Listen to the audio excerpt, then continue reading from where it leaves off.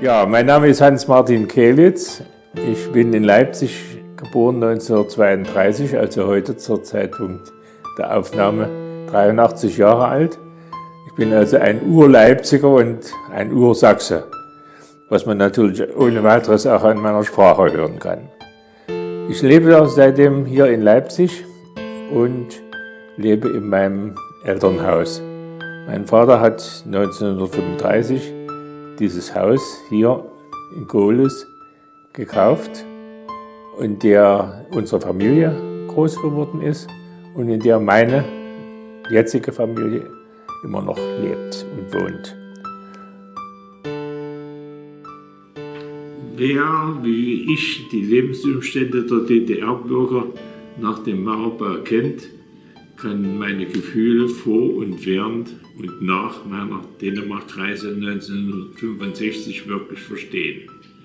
Dass es mir damals zudem gelang, meine Freunde in der Bundesrepublik zu besuchen, gab, dazu, gab zu dieser Reise noch ein, eine besondere Note. Leider konnte ich bis zur friedlichen Revolution außer meiner Frau niemanden von dieser Reise erzählen. Anfang der 60er Jahre besuchte mich einige Male ein Herr Petersen von der Firma Europe Mill aus Daugard in Dänemark. Ich hatte unser Unternehmen in das große Messerverzeichnis der Exportbetriebe der DDR eintragen lassen, obwohl wir bis dahin noch keinerlei Auslandskontakte hatten. Petersen aber hatte unsere Firma dort gefunden. Er hatte schon längere Zeit Geschäftsbeziehungen mit der DDR und war Generalvertreter für Elektromotoren und Getriebemotoren aus der DDR-Produktion für Europa. Er sprach leider kein Deutsch und ich natürlich kein Dänisch. Somit war ich gezwungen, meine fast verschütteten Englischkenntnisse aus der Schulzeit an der Wirtschaftsoberschule auszugraben. Obwohl die Schulzeit schon über 20 Jahre zurücklag, kam es doch zu einem ganz passablen Gespräch, denn auch mein Gesprächspartner war ja Englisch auch für meinen Gesprächspartner war ja Englisch eine Fremdsprache und er hatte damit ein geringeres Vokabular als in seiner Muttersprache. Wir fachsimpelten über die Fertigung künstlicher Mühlsteine, über Materialarten und deren Lieferanten.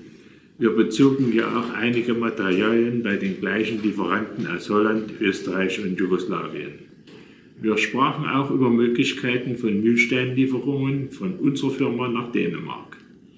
Im Ergebnis dieses Gesprächs, dieser Gespräche erhielt ich eine Einladung nach Dänemark, um weitere Einzelheiten einer möglichen Geschäftsbeziehung zu besprechen. Man erinnere sich, 1965 saß der Schock des Mauerbaus und der Abriegelung zum Westen noch in allen Gliedern. Ich sollte ins kapitalistische, feindliche Ausland fahren die Vorstellung einer solchen Reise war zu dieser Zeit etwa so utopisch wie eine Reise zum Mond. Mit dem mir eigenen Optimismus beschloss ich, einfach einen Versuch zu wagen. Eine Ablehnung hätte mich nicht sehr geschmerzt. Die erste Hürde war unser wirtschaftsleitendes Organ, der, der Wirtschaftsrat des Bezirkes Leipzig, als meine direkt vorgesetzte Behörde. Dort fand ich relativ schnell offene Ohren für eine solche Reise bestand doch die Chance auf einen Export zur Erwirtschaftung von harten D-Mark oder dänischen Kronen. Das war erst der Anfang des, der bevorstehenden Odyssee.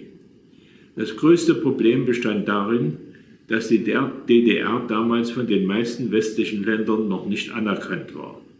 Es galt überall noch der Alleinvertretungsanspruch der Bundesrepublik Deutschland für alle deutschen Gebiete, einschließlich der DDR. Der DDR-Reisepass hatte deshalb nur für die Länder des Ostblocks Gültigkeit. Bei Reisen in westliche Länder, wie zum Beispiel Dänemark, galt der Pass nur bis zur Grenze und das DDR-Visum berechtigte nur zum Übertritt über diese Grenze.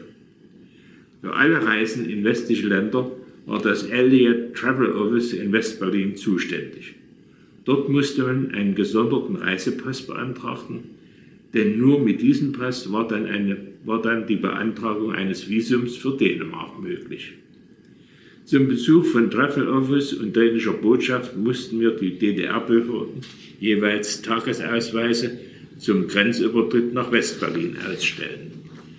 Mit der S-Bahn konnte ich zwar für Ostgeld nach Westberlin fahren, die DDR-Behörden mussten mir aber noch dann auf jeden Fall aus Westberlin für die Fahrt aus Westberlin zurück in, in Berlin 20 Pfennig West umtauschen. Das alles war natürlich mit einem unglaublichen Formular und Genehmigungsaufwand verbunden. Wie viele Formulare ich insgesamt ausfüllen musste, weiß ich heute nicht mehr, aber es waren viele. Da es mir zwar direkt zwar weder verboten noch erlaubt war, besuchte ich zwischendurch eine Großtante in Westberlin, wo ich natürlich großes Aufsehen erregte, als ich plötzlich und überraschend vor der Tür stand. Dieser Besuch war insofern wichtig, als wir dort noch deutsche Mark deponiert hatten und ich einiges davon nach Dänemark vorausschicken konnte.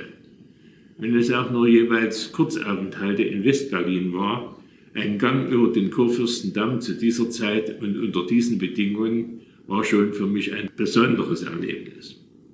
Gedanklich rechnete ich immer noch mit dem Scheitern meiner Bemühungen und vollzog immer wieder die noch neu vor mir, die, noch neu vor mir liegenden Schritte. Auch im DDR-Ministerium für Außenhandel konnte ich letztlich nur mit der Hoffnung auf ein Geschäft in harter Währung punkten und da die Funktionäre von der Notwendigkeit meiner Reise überzeugen. Nach vielen Berlin fahrenden schwierigen Verhandlungen und Bewältigung eines enormen Papierkriegs hatte ich doch wirklich eines Tages all die notwendigen Papiere und Stempel beisammen. Wie ich später in Dänemark erfuhr, waren auch die dänischen Sicherheitsbehörden nicht untätig geblieben. Mein Partner Petersen musste genau Auskunft darüber erteilen, wer da und warum nach Dänemark einreisen wollte. Für die Reise bekam ich pro Tag 30 D-Mark bzw. entsprechend dänische Kronen umgetauscht und hatte nun offiziell die Genehmigung, die DDR für die Dauer von einer Woche zu verlassen. Ich fuhr nach Berlin und dann weiter mit dem Schnelltriebwagen Warnemünde-Gezer Kopenhagen. Ab Warnemünde war der Zug fast leer und ich erlebte eine intensive Kontrolle der Passagiere und Waggons.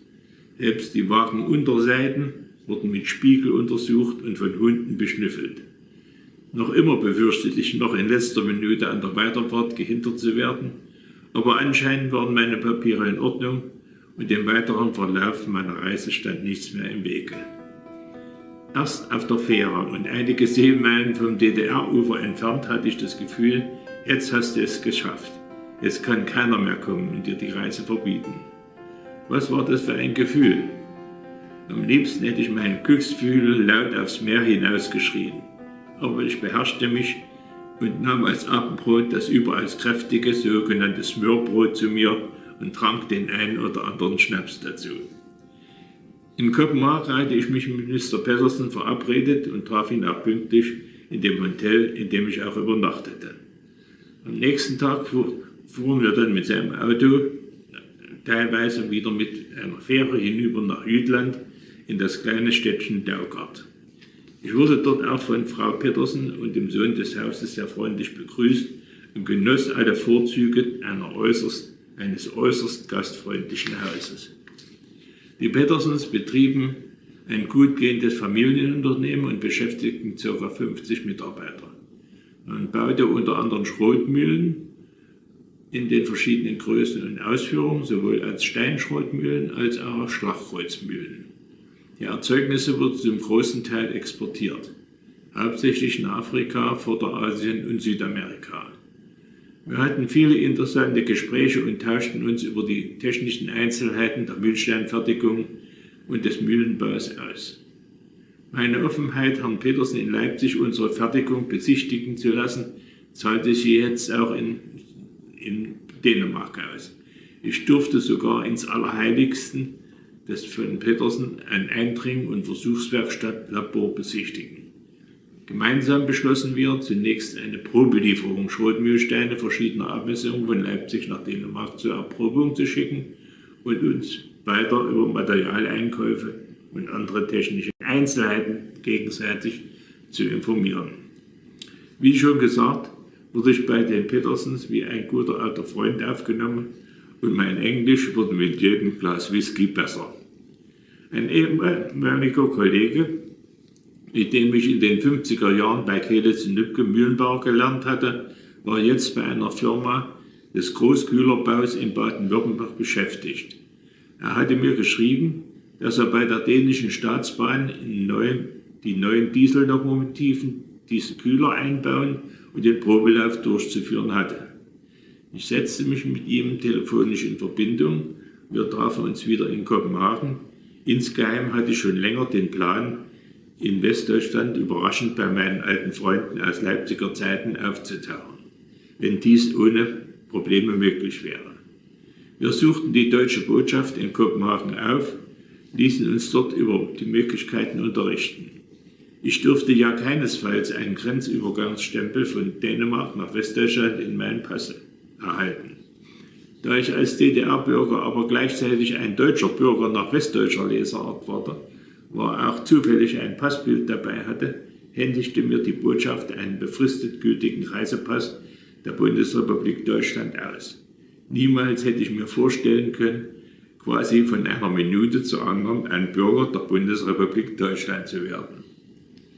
Mein DDR-Pass wurde im Tresor der Botschaft bis zu meiner Rückkehr aufbewahrt. Die hier in wenigen Zeilen dargestellten Entwicklungen wären ohne meinen alten Freund Jochen Mahler, dem alten Kollegen aus Leipzig, undenkbar gewesen. Allein, ich hätte wohl, allein hätte ich wohl im Fremdenland die auch hier erforderlichen Formalitäten nicht meistern können. Mein Freund nahm mich dann mit dem Auto mit nach Hamburg und setzte mich in den Zug nach Essen. In Essen wohnte Freund Bongo mit seinen Eltern. Mit Bongos Mutter, Frau, Frau, Bongo, Frau Bongos, gab es noch aus der Leipziger Zeit eine gute Beziehung. Galt sie dort doch als unsere Vizemutti unseres gesamten Freundeskreises. Vom Bahnhof in Essen rief ich bei Familie Bongos an und erreichte nur eine maßlos erstellte Mutter. Ich wurde aber sofort in die Cecilia-Allee gerufen und freundlich aufgenommen und bewirtet. Bongo war aber zu einem Treffen mit anderen Freunden aus Leipzig in Aschaffenburg, bei denen die alten Hockey-Kumpels Klaus und Monika Borneleit Gastgeber waren. Obwohl die Zeit nun schon langsam zu eng wurde, setzte ich mich Zug, in den Zug nach Aschaffenburg. Niemand hatte ja eine Ahnung von dem plötzlichen Anmarsch, war Frau Mutter, Mutter B. hatte mein Eintreffen avisiert und so wurde ich in Aschaffenburg auf dem Bahnhof einer ganzen Truppe ehemaliger Leipziger mit großem Hallo empfangen. Die Wiedersehensfeier bei Bornes war dann entsprechend zumal auch noch andere Freunde aus unserer gemeinsamen Leipziger Zeit dort waren.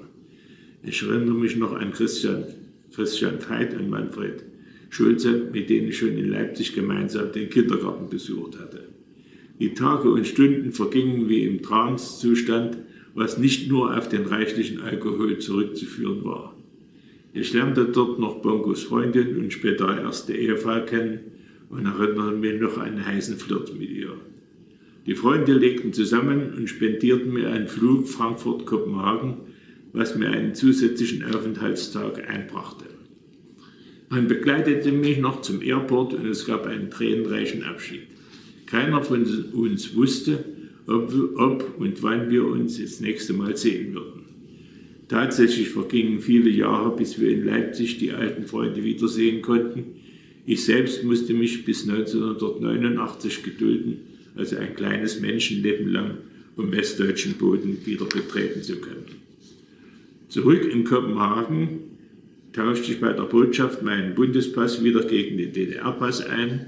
Man versicherte mir, der Bundespass auf meinen Namen würde für mich aufbewahrt und stünde mir jederzeit zur Verfügung. Leider hatte ich dann später keine Gelegenheit zum Gebrauch, denn ich kam nie wieder nach Dänemark. Mit den restlichen D-Mark und der Dän und dänischen Kronen ging ich in Kopenhagen nochmals ausgiebig shoppen, kaufte besonders die heiß begehrten Südfrüchte, Schokolade und Kaffee ein, ehe ich mich in den Triebwagen wieder in Richtung DDR aufmachte. Als ich kurz vor der Grenze nochmal meine Papiere durchsah, stellte ich mit Schrecken fest, dass ich trotz aller Vorsicht die genehmigte Reisezeit um einen Tag überzogen hatte. Als ich spät nachts in Warnemünde wieder DDR-Boden betrat, musste ich Schwierigkeiten mit der Passkontrolle erwarten. Die Grenzpolizistin schaute sich aber den Post gar nicht genau an, stempelte ihn mit dem Einreisestempel und die Sache war erledigt. Vielleicht waren auch direkt generell froh über jeden zurückkehrenden Bürger. Ich fuhr über Berlin nach Hause zurück, wo ich schon sehnsüchtig erwarten wurde. Die Tage und Stunden dieser Reise waren so voller Erlebnisse, dass sich Gleiches oder auch nur Ähnliches weder früher noch später wiederholte. Viele Eindrücke konnte ich bei dieser Niederschrift noch gar nicht berücksichtigen, aber sind, sind aus meinem Gedächtnis teilweise wie ein Film abrufbar. Das hängt sicher mit den ganz besonderen Umständen dieser Reise zusammen.